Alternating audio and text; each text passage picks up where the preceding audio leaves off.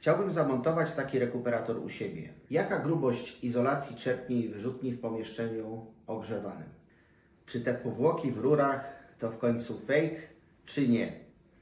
Różnica w cenie jednak jest. Gdyby to było tak, że y, powłoka w rurze jest y, fejkiem, to uwierz mi, że ci, którzy tej powłoki antybakteryjnej w rurze by nie mieli, zniszczyliby tego, który tą powłokę do rury wsadził. Ale głupotę teraz powiedziałem. Cześć, z tej strony Wasz ulubiony instalator Ariel. Witam Was dzisiaj w odcinku nietypowym, dlatego że nagrywamy go z okazji tysiąca subskrypcji. Te tysiąc, powiem Wam, bardzo szybko minęło, nie zdążyliśmy zareagować, bo już jest w okolicach 1100. Natomiast myślę, że jakiś taki odcinek e, na tą okrągłą tysiączkę się Wam należy. W związku z czym zebraliśmy Wasze pytania, e, te, które wydały nam się najciekawsze, te, które były w poprzednim Q&A na, tam na starym kanale. No i co? No i pokrótce na nie dla Was odpowiem. Jakie pomieszczenie, czyli temperatura jest najlepsza dla rekuperatora? Y, tutaj, jeśli chodzi o to pytanie, musimy rozróżnić dwa typy rekuperatorów. Y, są rekuperatory skandynawskie, które są przystosowane do pracy w chłodniejszych temperaturach. Jest nawet taki rekuperator, y, to jest firma Osberg, który praktycznie mógłby być wystawiony na dwór, przykryty jakimś daszkiem i on sobie też da tam radę. Natomiast to jest wyjątek, to jest coś takiego nienormalnego. Większość rekuperatorów, tych y, polskich, ale skandynawskich też, woli przebywać w cieple. Dlatego staramy się, żeby te rekuperatory były umiejscowione w strefie ciepłej. Strefa ciepła to nie jest strefa ocieplona. Strefa ciepła to jest strefa ogrzewana. Czyli jeśli mamy izolację w tym miejscu i izolację w szczycie, to ta strefa nie jest ciepła. Ona jest oddzielona izolacją od strefy ciepłej, czyli takiej, w której jest grzejnik. Jeśli chodzi o to miejsce, też staramy się tutaj umiejscowiać, yy, sytuować rekuperatory, które pozwalają na pracę w temperaturze zera około stopni. Yy, natomiast jeśli chodzi o te rekuperatory ciepłolubne, czyli ustawione w miejscu, gdzie jest ogrzewanie, gdzie jest wyizolowany budynek od chłodu, który jest na zewnątrz, to yy, większość producentów mówi o takiej temperaturze 15 stopni. Niektórzy nie podają tej temperatury, dlatego że dają e, swoim hydraulikom pole do manewru, żeby montowali Wam na nieocieplonym poddaszu albo na ocieplonym poddaszu, albo e, w, w piwnicy, w której temperatura będzie się zbliżać do 0 stopni albo garażu. E, natomiast te 15 stopni to jest takie optimum raczej dla wszystkich jednostek. Przymierzam się do instalacji rekuperacji. Mam pytanie, jak obliczyć, ile ma być powietrza nawiewanego w danym pomieszczeniu. Y, nie musisz y, tego liczyć, dlatego że te wartości są podane w normach. Jest też określona ilość powietrza, która powinna być przeznaczona do funkcjonowania jednej osoby. I w ten właśnie sposób projektanci albo pseudoprojektanci stąd właśnie wiedzą, jaką wartość napisać y, w poszczególnym pomieszczeniu. My jesteśmy za tym, żeby y, móc tą wartość osiągnąć na naszych instalacjach, za tym, żeby móc tą wartość wielokrotnie y, przewyższyć, ale też, żeby móc korzystać z niższej wartości niż projektowana, dlatego że nie ma normy na Ciebie. Na tego za Tobą też nie ma normy i na Twojego psa, który siedzi obok, albo kota też nie ma normy. To, jak będziesz się czuł e, w swoim pokoju, w danym pomieszczeniu, będzie determinować to, ile powietrza będziesz potrzebował e, tam nawiać. Zobacz na przykład odcinek e, odnośnie Venti, z rzeczoznawcą sądowym. I tam ja zaznaczam rzeczoznawcy, słuchaj, tutaj mamy w tym salonie mamy zamknięty jeden nawiew salonowy. I on stwierdza, że to jest ok, dlatego że, tak, że i tak ilość powietrza nawiewanego przez pokoje do tego salonu do wyciągnięcia w kuchni będzie wystarczająca, więc nie musimy bezpośrednio w tym salonie tak dużo tego powietrza nawiewać. I to samo tyczy się Ciebie. Jeśli dla Ciebie wartość 40-50 metrów sześciennych y, będzie y, dobra, odpowiednia, no to tak sobie żyj. Natomiast jestem za tym, żebyś mógł to sobie w każdej chwili zmienić, żebyś mógł to dostosować do siebie, do, do swoich potrzeb. Jest jeszcze jedna rzecz. Jeśli y, realizujesz instalację zgodnie z naszym kursem samodzielnego montażu, albo jeśli to my realizujemy instalację dla Ciebie, to wiesz, że ilość powietrza w Twoim pokoju zależy od tego, na jakim wydatku będzie pracował rekuperator. Jaki będziesz miał dobrany rekuperator, ale przede wszystkim od tego, ile będziesz miał do danego pokoju doprowadzonych przewodów. Czasami do pokoju doprowadza się cztery przewody, czasami trzy, czasami y, dwa, raczej nie doprowadza się jednego przewodu dlatego że ludzie potrzebują troszeczkę więcej tego powietrza y, do życia. Dlatego wiedz, że to nie cyfra na kartce y, ma mówić Tobie, jak Ty się czujesz dobrze albo jak Ty się czujesz źle. To, to nie jakiś ustawodawca, tylko to zależy od Ciebie. My zrobimy instalację w taki sposób, żeby Tobie w tym pokoju było komfortowo. Jaka grubość izolacji czerpni i wyrzutni w pomieszczeniu ogrzewanym? Y, jeśli chodzi o pomieszczenia ogrzewane, to jest w nich ciepło. Więc teoretycznie y, nie trzeba by było nic izolować, bo tak Wam powie Wasz hydraulik, ja cytuję, pewnie już nie jeden tak powiedział Wam albo Waszym znajomym, tam nie trzeba nic izolować, bo przecież tam jest ciepło w tym pomieszczeniu i tam się nic nie stanie.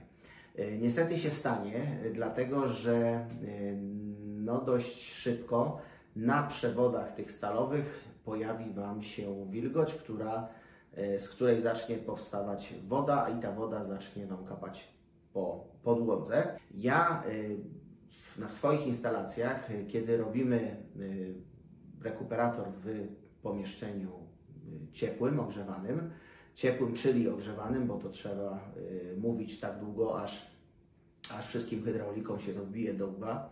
Natomiast w pomieszczeniu ciepłym, ogrzewanym dajemy 5 cm na czerpni i na wyrzutni.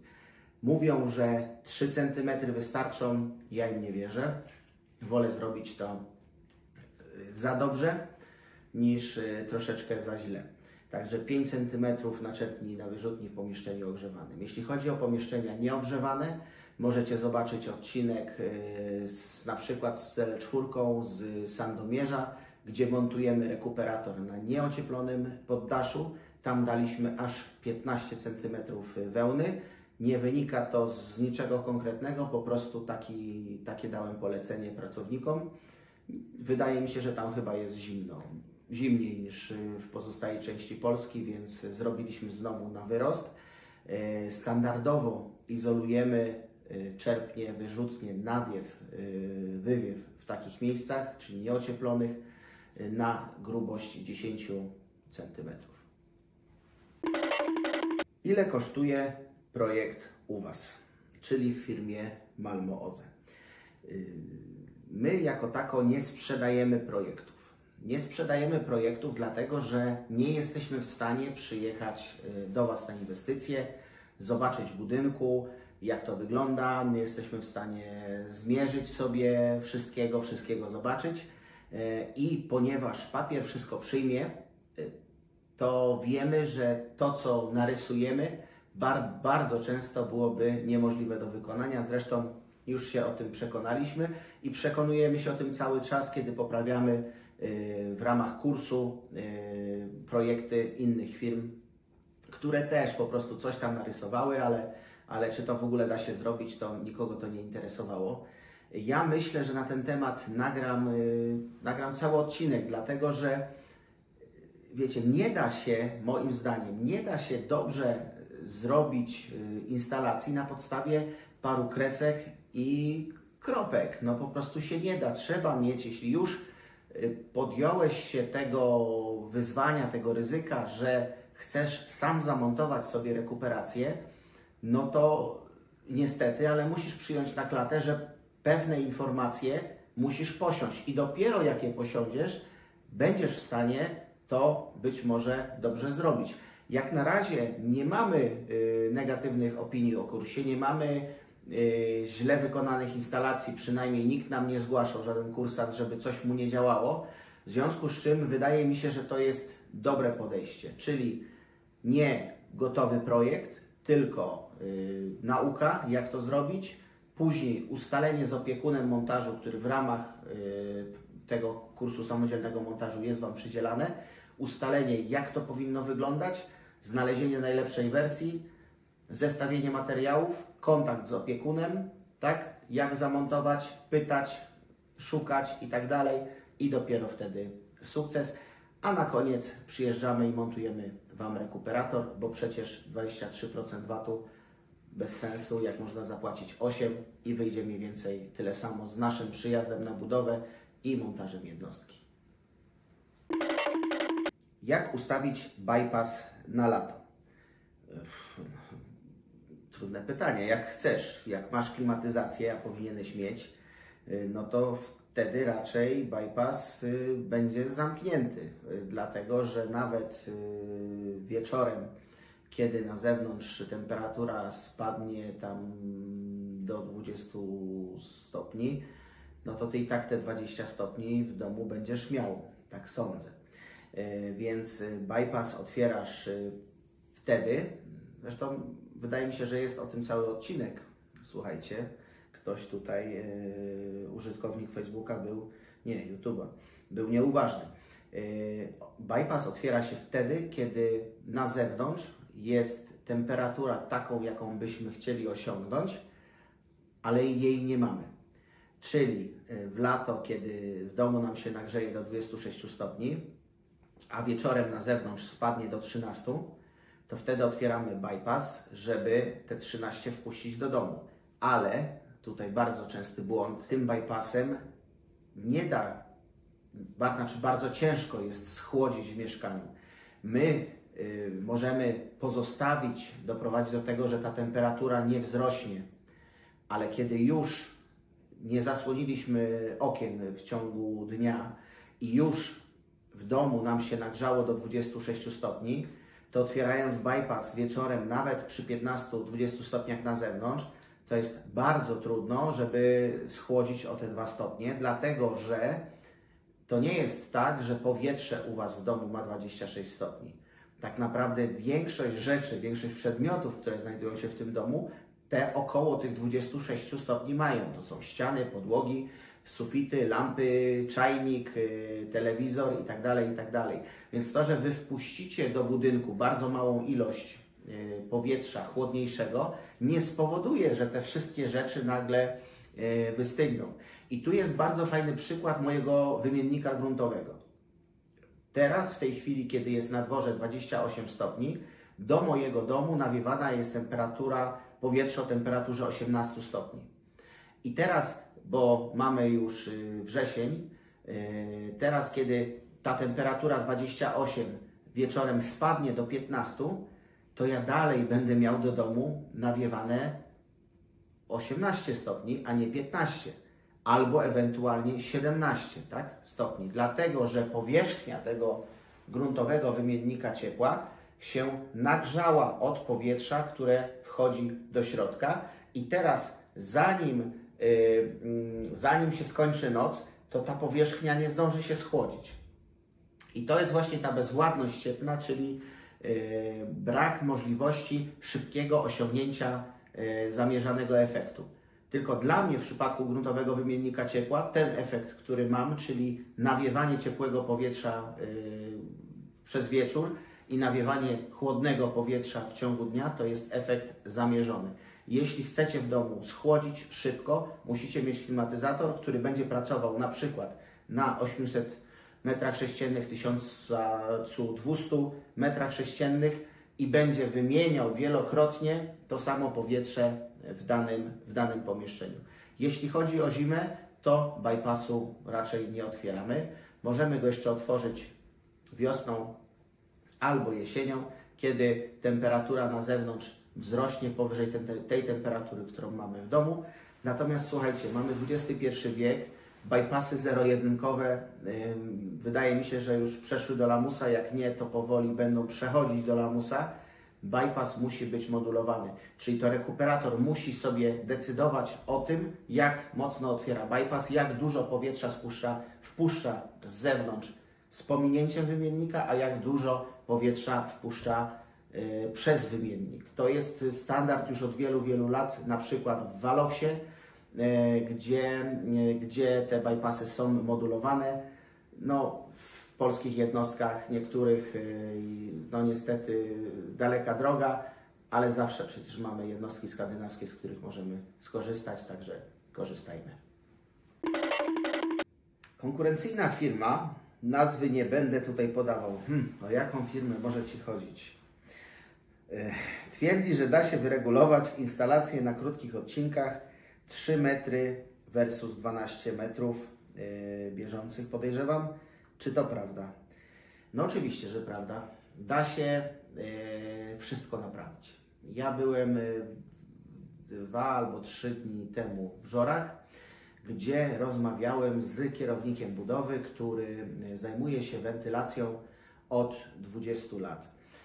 I na tej budowie inwestor, kierownik budowy, starał się mnie przekonać, że on wykonując źle instalację, absolutnie po prostu była bezsensowna. Odejście na parter rurą 300, odejście na piętro rurą setką E, od tej, nie, przepraszam, 125, od tej 125 e, porobione odejścia na 125 już na samym początku. E, gdzieś tam przy końcu zamontowana przepustnica, nie wiadomo po co, odejścia na setkę bez przepustnic. Na odejścia ze 125 na 125 też bez przepustnic. I zapytałem się go, jak on chce to wyregulować. No i powiedział mi, że użyje autoryzowanych produktów firmy tam XYZ, czyli tych przepustnic, takich gąbeczek inox.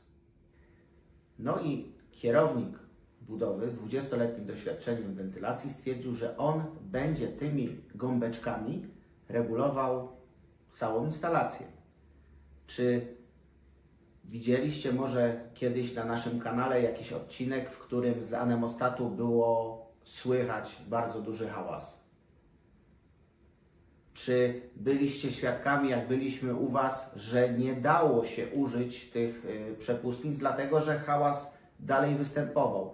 Przy źle zmontowanej instalacji, czyli przy takiej, gdzie mamy 3-metrowy odcinek, 12-metrowy odcinek, albo nawet półmetrowy odcinek i 20-metrowy odcinek, bo takie instalacje czasami mi się trafiają.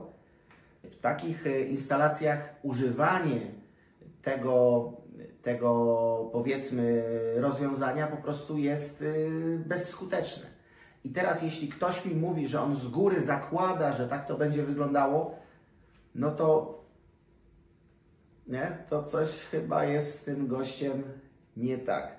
W związku z czym, odpowiadając na pytanie, można yy, spróbować, są różnego rodzaju sposoby, którymi można doprowadzić do tego, że ta instalacja jako tako będzie działać. Dla Was, dla większości z Was, dla myślę 80% Polaków, jako tako jest może niewystarczające, ale akceptowalne. Bo raczej montując rekuperację gdzieś tam 5 lat temu, 3 lata temu, 8-10 lat temu nie, nie oczekiwaliście od niej jeszcze cudów, nie oczekiwaliście od niej, że będzie mm, to działać super cicho i super tanio i tak dalej. Po prostu to była jakaś tam nowość, którą wprowadziliście i byliście w stanie zaakceptować jej ułomności. I dzisiaj, dostając taką ułomną instalację, większość Polaków akceptuje to po prostu, że tak musi być Natomiast yy, przychodzę do Was i mówię, nie, nie musi. Nie musi, da się to zrobić dobrze, da się to zrobić lepiej, tylko trzeba mieć troszeczkę oleju w głowie. Czy anemostaty w sufitach skośnych rozmieszczamy na tej samej zasadzie, co w zwykłych? Oczywiście, że nie. Jeśli chodzi o wyciągi, to w sufitach skośnych zazwyczaj kończy się to tym, że rura jest źle zaizolowana albo rura jest zaizolowana na sandwicha tak zwanego, czyli izolacja, rura, izolacja, co jak wiecie z wielu naszych odcinków jest bardzo dużym błędem, dlatego że ta dolna warstwa izolacji odcina te rury od ciepła, które jest w domu, więc nigdy tak, nigdy tak y, nie robimy tego w ten sposób. Natomiast jeśli chodzi o nawiewy, być może tutaj autorowi chodziło właśnie o te nawiewy. Y, ja tutaj zaznaczę, jak, jak bardzo to jest ważne. Y, dlatego, że mm, jak wiecie, albo nie wiecie, jeśli nie jesteście kursantami, to Wam powiem, że anemostaty nawiewne działają inaczej niż wyciągowe. Anemostaty wyciągowe y, kumulują powietrze pod sobą, czyli można powiedzieć, że działają y, pionowo albo poziomo, zależy jak są zamontowane, to można powiedzieć, że działają kierunkowo przed siebie, tam wyciągają najefektywniej, sprzed siebie wyciągają najefektywniej powietrze.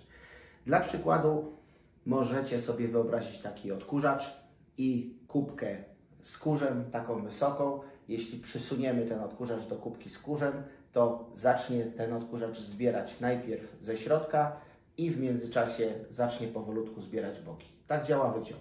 To jest powiedzmy dość proste i oczywiste. Natomiast nie takie proste i nie takie oczywiste jest działanie anemostatu nawiewnego. Dlatego, że anemostat nawiewny rozrzuca powietrze na boki i z wykorzystaniem y, siły koandy przykleja to powietrze do sufitu. Ale Wam powiedziałem, nie? A, to głupi jestem, sorry.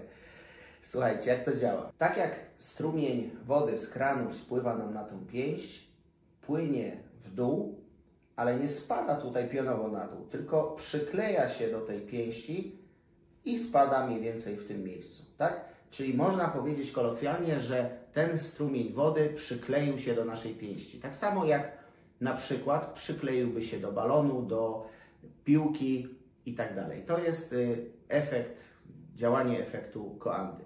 I teraz, tak samo jak woda do tej pięści albo innego przedmiotu, powietrze przykleja się do sufitu albo do skosu. No właśnie, albo do skosu. Dlatego nie montujemy nawiewów przy samej ścianie.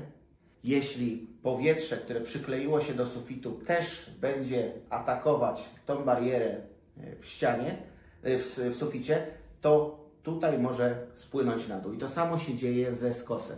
Jeśli nawiew będzie umiejscowiony bardzo blisko skosu albo będzie umiejscowiony, nie daj Boże, w skosie, to macie pewność, że większość tego powietrza albo prawie całe te powietrze, które pojawi się w tym punkcie, ono spłynie po tym skosie na dół.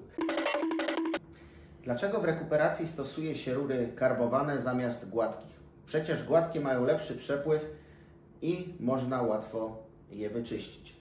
No więc stawiając błędne, błędną tezę, można dojść do błędnych wniosków, które będą prawdziwe. Gdyby rura gładka stawiała mniejszy opór dla przepływu powietrza, to byłoby niezrozumiałe i nielogiczne, żeby używać rur karbowanych. Natomiast rury karbowane w jakimś celu zostały wprowadzone do użytku e, i żeby to zrozumieć, możecie sobie przeczytać o tak zwanym efekcie piłeczki golfowej. Dlaczego piłeczka golfowa nie jest w pełni okrągła jak piłeczka do ping-ponga, tylko ma takie wypustki? Tutaj Kasia Wam to chciała pokazać yy, i myślę, że pokazała.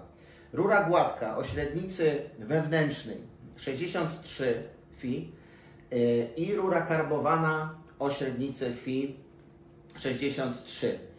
Tutaj w przypadku rury gładkiej powietrze będzie się przyklejało do materiału, z którego wykonana jest rura. Dlatego, że każdy materiał w fizyce ma swoją lepkość.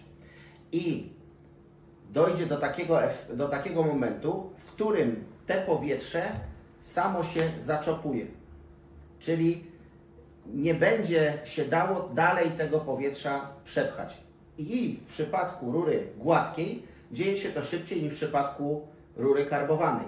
Dlatego, że po pierwsze te karby wytłumiają nam dźwięki, czyli każdy metr rury karbowanej e, spektra jest e, tłumikiem, albo rury karbowanej Malmo jest tłumikiem. E, to jest pierwsza rzecz. Druga rzecz, powietrze nie zachowuje się tak jak w przypadku rury gładkiej. Ono też się przykleja, natomiast przykleja się w tych karbach. I zjawisko, które jest pokazane tutaj albo tutaj, występuje dużo, dużo później. Dlatego stosujemy rurę karbowaną, bo jest antygrzbiczna, antybakteryjna, antywirusowa z materiałów antystatycznych, ale też dlatego, że łatwiej przez nią przepływa powietrze, a uwierzcie mi, że te karby nie mają aż takiego dużego wpływu na czyszczenie. Czy powłoki w rurach to w końcu fake, czy nie? Różnica w cenie jednak jest. No pytanie yy, dość yy, specyficzne, bo często zadawane. Yy, natomiast, no słuchajcie, jeśli ktoś wprowadza jakąś innowację, to dlaczego ktokolwiek twierdzi, że to jest fake? Nie? No to troszeczkę takie yy, dziwne jest. Natomiast yy, jakby to jakby wytłumaczyć genezę tej, tej wątpliwości. E, na samym początku te rury, które były najpopularniejsze, e, one były e, tworzone z takich, ta rura wewnętrzna była tworzona z takich materiałów, które no między innymi jak przedstawiciel przyjechał do firmy pochwalić się jaką mają fajną rurę, ja ją wygiąłem, to ona w środku popękała cała. Więc, więc taka była jakość kiedyś na początku tych, tych rur. Z tego co mi się wydaje, nie jestem do końca pewien, ale chyba kiedyś stosowano y, w tych przewodach jakieś tam nitki kwasowo-zasadowe, coś takiego. Nie jestem tego do końca pewny, natomiast coś, coś koło tego. I y, tam te bariery, przez to, że mogły być wypłukane, wydmuchane, na nie była gwarancja dwuletnia. Czyli przez dwa lata było fajnie, a potem radź sobie sam. I faktycznie wtedy to mogło nie do końca działać tak dobrze, jak jest. Natomiast jeśli zobaczycie sobie odcinek na naszym kanale Innowacyjne rozwiązania rekuperacji tajemnica srebrna, srebra w rurach, który będzie tu, y, to tam jest dość dokładnie przez pana doktora wyjaśniona technologia, która jest stosowana dzisiaj. To srebro faktycznie jest wkładane mówiąc kolokwialnie, do tego materiału, z którego wykonana jest rura, w związku z czym ono musi działać. Y, I to jest pierwsza rzecz. Druga rzecz, y, gwarancje po 5 lat, po 30 lat, które dają producenci, też z czegoś wynikają. No, nikt nie, nie wszedłby celowo na minę, widząc ją przed sobą, po to, żeby sobie urwać nogę. Każdy producent to sprawdza, bada, mamy laboratoria badawcze, które się tym zajmują E, no i im wypada nam wierzyć. Na kanale yy, pana Piotrka Paruszewskiego możecie zobaczyć doświadczenie, w którym wlał wodę do różnego rodzaju rur, a później tą wodę oddał do yy, sanepidu. No i sanepid dał jakieś tam konkretne wyniki. Ja Wam nie będę zdradzał, możecie sobie ten film u niego na kanale zobaczyć. Także jest wiele przesłanek, które mówią o tym, że ta powłoka działa. Pan Piotrek to sprawdził. E, możecie też u nas na kanale tutaj sprawdzić e, odcinek na ten temat. Także moim zdaniem to nie jest żaden fake. Różnica w cenie oczywiście z czegoś wynika. Ta rura, którą e, tu przez cały odcinek widzicie w tle, jest właśnie wyprodukowana z użyciem tej technologii. Także to jest pełnoprawna rura, która jest wykonana według e, wytycznych e, ustalanych przez te laboratoria. E, jeśli chcecie zaoszczędzić parę groszy, a się martwicie, że będzie gorsza, nie, nie jest ta rura gorsza. Producent mówi, że jest nawet lepsza, a ja nie mam jak tego sprawdzić, więc po prostu mówię, że jeśli chodzi o montaż, jeśli chodzi o y, takie właściwości użytkowe, złoto była dużo gorszej jakości. Miałem wiele uwag. Przez długi, długi, długi czas dochodziliśmy do tego momentu, w którym jesteśmy teraz i macie go. Także to jest pełnoprawny produkt. Jakie są najczęstsze błędy instalatorów, na co zwrócić uwagę? I powiem Wam, że ja bym na to pytanie odpowiedział, jakie są najczęstsze błędy instalatorów, gdyby nie to, że yy, co 10 instalacji, na które przyjeżdżam, nagle się pojawia coś, co w ogóle by mi do głowy nie przyszło.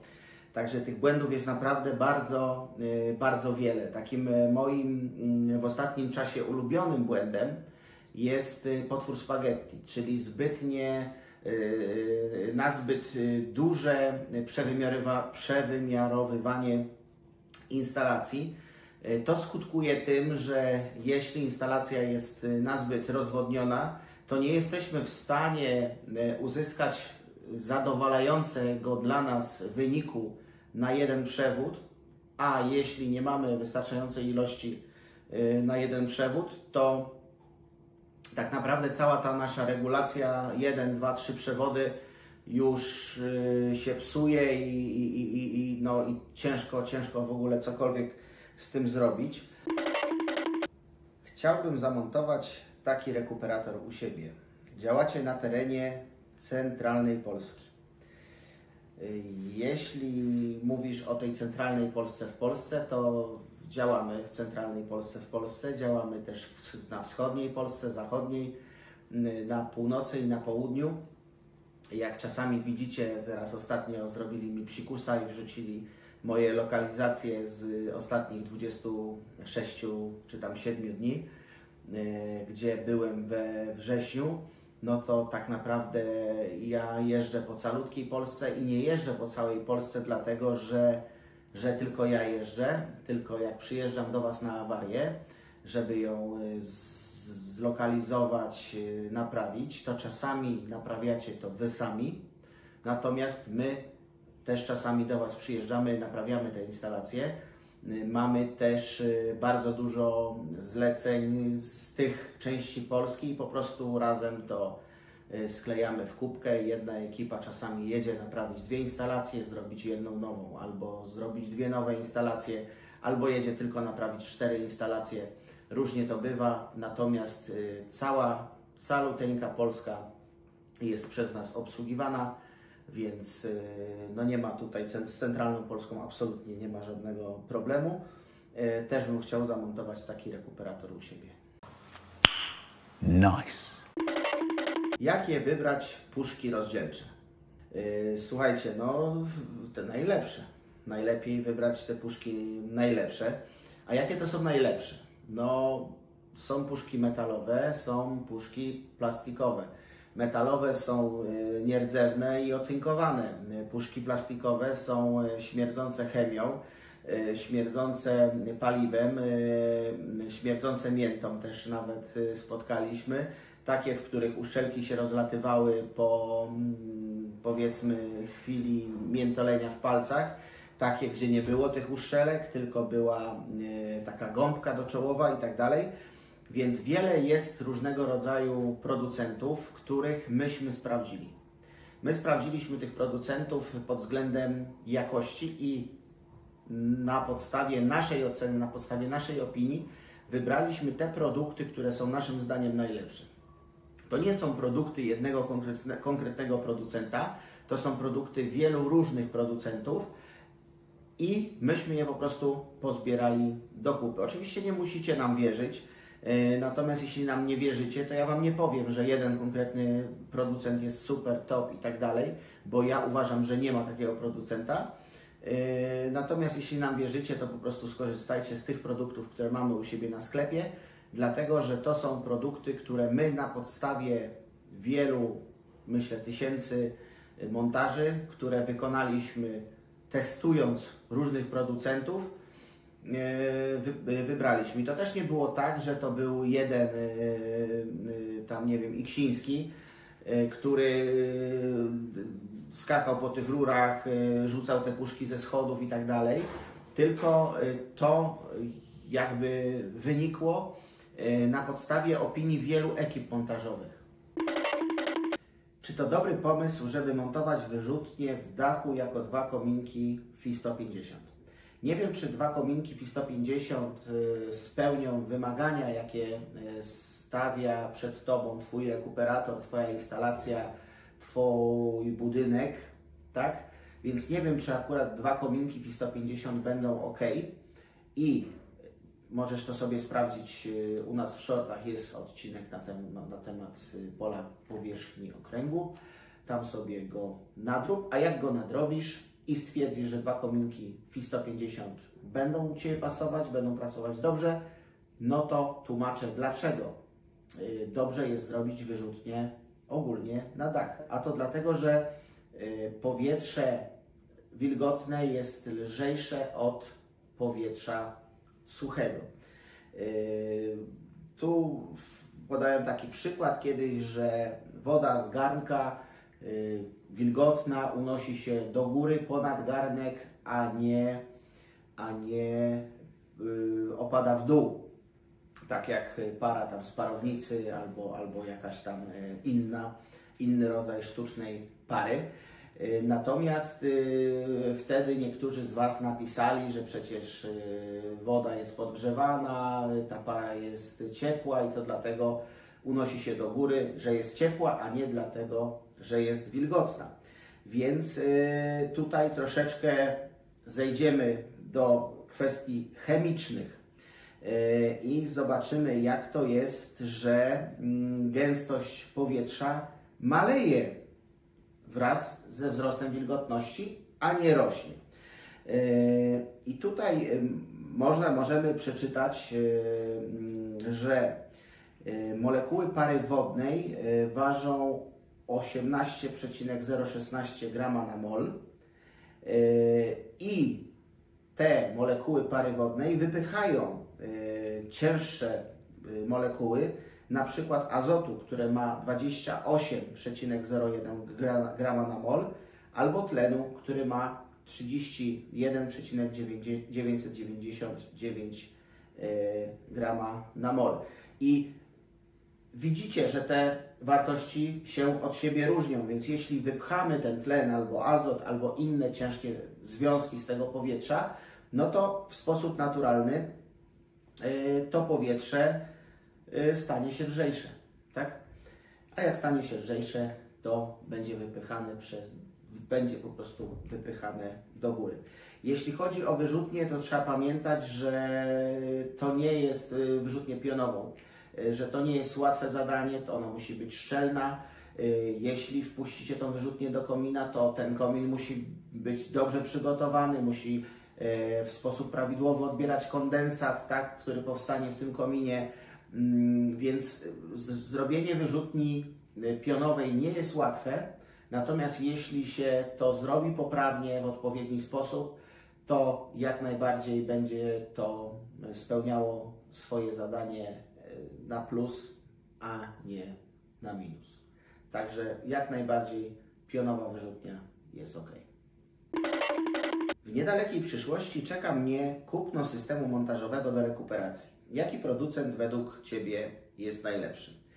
No na to pytanie już yy, częściowo odpowiedziałem, odpowiadając na tamte pytania, yy, więc powiem pokrótce, że te produkty, które dzisiaj mamy w sklepie, są moim zdaniem najlepsze, dlatego że na nich najlepiej mi się montowało. E, naszym zdaniem, moim zdaniem mają najlepsze właściwości montażowe, najtrudniej przy nich popełnić błąd, bo są systemy dla profesjonalistów, można powiedzieć, które być może byłyby lepsze. Natomiast y, dla kogoś, kto y, robi na tym systemie naszym, to trudno jest popełnić błąd, więc, y, więc sprawdziliśmy te materiały, z których korzystamy, wiemy, że są dobre i dlatego, dlatego nie wskażę producenta konkretnego, najlepszego. Te materiały, które montujemy, są sprawdzone przeze mnie i one są dobre. No, tak właściwie wszystkie materiały, o których ja mówię, możecie nabyć, możecie je sprawdzić na naszym sklepie www.malmo-oze.pl Albo bez www już się, chyba bez www już się dzisiaj pisze, nie? Ale jestem dinozaur, powiem Wam straszny, no ale co zrobisz, jak, jak nic nie zrobisz. Także bez www piszecie malmomyślnikoze.pl i tam e, wklikacie zakładkę sklep i no, możecie sprawdzić, na czym aktualnie pracujemy. Będziemy tam dawali po prostu dobre, jakościowe e, produkty. Jeśli kupicie produkty u nas, to możecie być pewni, że są sprawdzone przez nas, są dobre. E, Możecie kupić e, rekuperatory, te tańsze, które nie są najlepsze na świecie, ale w porównaniu jakość-cena wypadają bardzo dobrze. Mm, No więc ogólnie polecam korzystać z naszego e, sklepu malmomyślnikoze.pl łamane na sklep. A Was, jak wytrwaliście do końca, zachęcam do subskrybowania, łapek w górę. Ponad 90% oglądających filmy nie subskrybuje kanału, więc to żenada, żenada, naprawdę poziom bardzo niziutki. Zmieńcie to. Trzymajcie się. Cześć.